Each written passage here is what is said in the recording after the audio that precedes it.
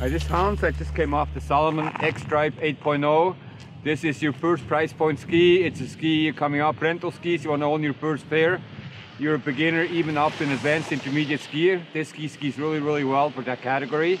I give this ski a three out of five.